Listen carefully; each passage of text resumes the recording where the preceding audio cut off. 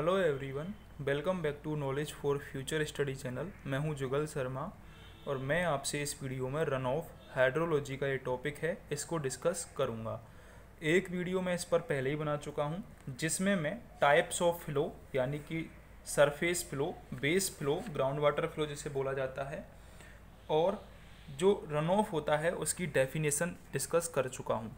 अब मैं डिस्कस करूँगा run off character characteristics of streams यानी कि जो स्ट्रीम होती हैं, वो कितने टाइप की होती हैं। आपके सामने लिखा हुआ है, तीन टाइप की स्ट्रीम मेनली होती हैं पैरनेनियल स्ट्रीम इंटरमिटेंट स्ट्रीम और एफेमेरल स्ट्रीम ठीक है?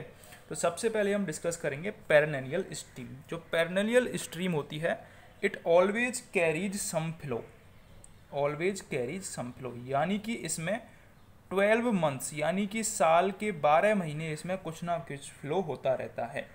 और ये जो फ्लो होता है, ये किस कारण से होता है? क्योंकि इसमें थ्रू आउट द ईयर हमको जो ग्राउंड वाटर फ्लो है वो मिलता रहता है। Throughout the year ground water flow इसमें मिलता रहता है। और इसका जो फ्लो होता है, वो हमेशा एबव बेड होता है। एबव बेड ऑफ़ स्ट्रीम यानी कि जो स्ट्रीम का बेड होता है, उससे हमेशा कुछ ना कुछ ऊपर होता है, ऊंचाई पर होता है, फ्लो, ड्राई सीज़न की बात हो रही है विंटर सीज़न में और बारिश के टाइम पे, प्रिसिपिटेशन सीज़न में तो पानी रहता ही है, नदियाँ उफान पर रहती हैं, ठीक है? तो जो पैरनियल स्ट्रीम होती है, उसमें ड्राई सीज़न में भी पानी होता है।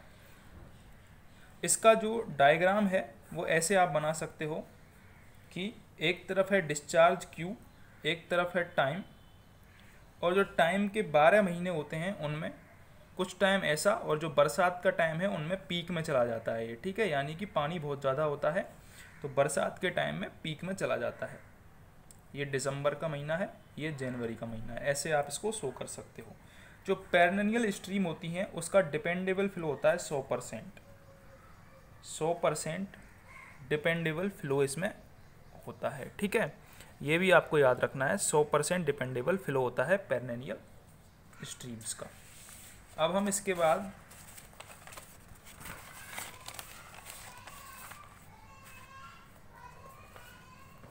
डिस्कस करेंगे इंटरमिटेंट स्ट्रीम ठीक है?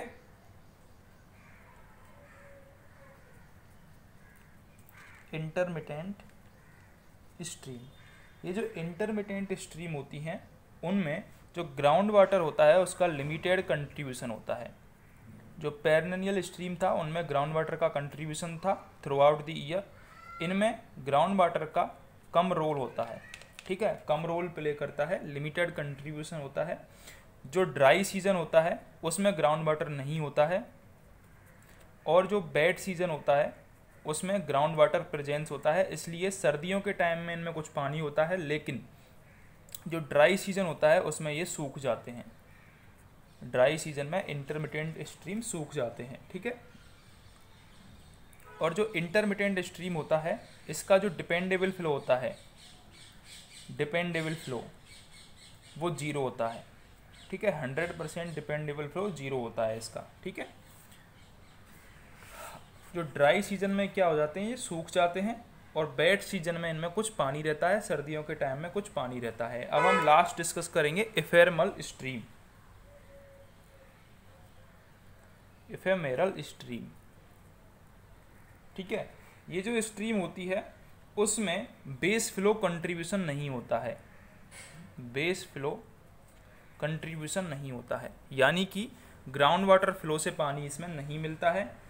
इसमें कुछ कुछ टाइम पर पीक होती है, यानी कि जो बरसात का टाइम होता है, उसमें ज़्यादा पानी होता है। उसके अलावा पूरे साल ये जो रिवर होती हैं, ये सूखी रहती हैं। जो शुष्क एरिया होते हैं एरड जोन्स एरड जोन्स में ये टाइप की स्ट्रीम पाई जाती हैं। एफेमेरल स्ट्रीम ये एरड जोन्स में पाई जाती हैं, सूखाग्रस्त इलाकों में, ठीक है? और ड्राई सीज़न में ये बिल्कुल सूखी रहती है ड्राई सीज़न में सूखी रहती हैं बिल्कुल, ठीक है? इसके बाद हम देखेंगे जो फ्लो करेक्टरिस्टिक्स होती हैं स्ट्रीम की, वो किस पर डिपेंड करती हैं। Flow characteristics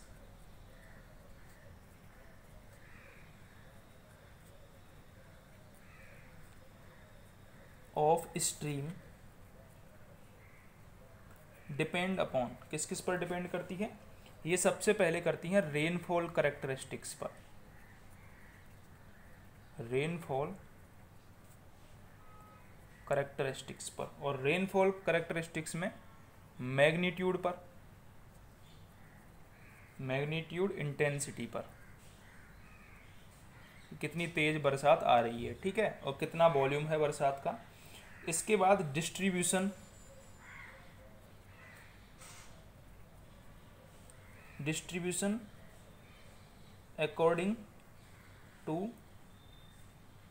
time and space ठीक है? इसके बाद इट्स वेरिएबिलिटी वेरिएबिलिटी पर भी ये डिपेंड करती है।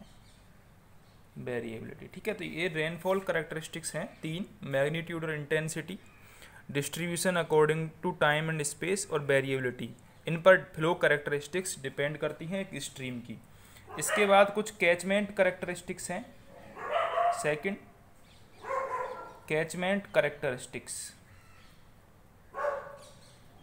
जो कैचमेंट करेक्टरिस्टिक्स हैं, उसमें सॉइल कैसी है कैचमेंट की, उसमें ज़्यादा पोर होंगे तो रन ऑफ़ कम होगा। पोर का मतलब गड्ढे ज़्यादा होंगे, नीचे पानी ज़्यादा जाएगा इंटरफ्लो ज़्यादा होगा तो रन ऑफ़ कम होगा। सॉइल कैसी है वहाँ की? वहाँ पर वेजिटेशन होगा तो भी जो पानी है रन ऑफ़ है, वो रुक जाएगा वेजिटेशन की वजह से। ठीक है?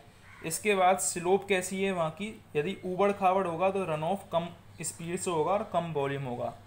Slope geology and shape catchment area का सेप कैसा है? इसके बाद ड्रेनेज डेंसिटी कैसी है? यानी कि जो ड्रेनेज एरिया है, उसमें ऑब्जेक्शन प्रेजेंस है या नहीं? इन चीज़ों पर ये डिपेंड करती है। फिलो करेक्टरिस्टिक्स तीसरी है क्लाइमेटिक फैक्टर्स। क्लाइमेटिक फैक्टर्स पर भी डिपेंड करती है स्ट्रीम की फ्लो। यानी कि जो कैचमेंट एरिया है, उसमें क्लाइमेट कैसा रहता है? वहाँ पर बरसात होती है या नहीं है? एरिड जोन है वो, या फिर वहाँ पर ज़्यादा गर्मी पड़ती हो तो एवापो ट्रांसप्रेशन ज़्यादा होता हो, यानी कि पेड़ पौधों से पानी ज़्यादा उड़ता हो तो क्लाइमेटिक फैक्टर्स पर भी फ्लो करेक्टरिस्टिक्स डिपेंड करती हैं। तो तीन टाइप पर डिपेंड करती है रेनफॉल करेक्टरिस्टिक्स कैचमेंट करेक्टरिस्टिक्स और क्लाइमेटिक फैक्टर्स रेनफॉल में magnitude and intensity distribution according to time and space variability catchment में सॉइल कैसी हो वेजिटेशन है स्लोप वगैरह पे और ड्रेनेज डेंसिटी पर डिपेंड करती है, ठीक है? तीन टाइप की स्ट्रीम हमने पढ़ी थी पैरनेनियल इंटरमीडियंट और एफेमेरल ठीक है? पैरनेनियल में throughout the year ground water का सपोर्ट होता है। इंटरमीडियंट में बेड टाइम में, यानी कि सर्दियों के टाइम में ग्राउंड वाटर मिलता है, लेकिन ड्राई सीज़न में सूख जाता है। इफेमेरल में बिल्कुल ही ड्राई जो ड्राई सीज़न में सूखा होता है और ये एरिड जोन में पाई जाती हैं। इफेमेरल जो स्ट्रीम होती हैं, उनमें ग्राउंड वाटर का कोई रोल नहीं होता है ग्राउंड वाटर नहीं होता है। इसके अलावा जो पेरनेनियल स्ट्रीम होती हैं, उसमें 100 परसेंट डिपेंडेबल फ्लो एक होता है, यानी कि प्रेजेंस में होता है, और इंटरमीडियंट स्ट्रीम स्ट्रीम में जो 100 परसेंट डिपेंडेबल फ्लो होता है, वो ज़ीरो होता है। ये दोनों टर्म आपको याद रखनी थी, ठीक है? अगर आपको वीडियो हेल्पफुल लगी हो तो चैनल को प्लीज़ सब्सक्राइब ज़रूर कर दें, रेड बटन को ज़रूर दबाएँ, लाइक करें, शेयर करें, और कमेंट ज़रूर करके बताएँ, वीडियो कैसी लगी? यदि आप कोई स्पेसिफिक टॉपिक पढ़ना चाहते हो तो आप उसको भी कमेंट करके बता सकते हो।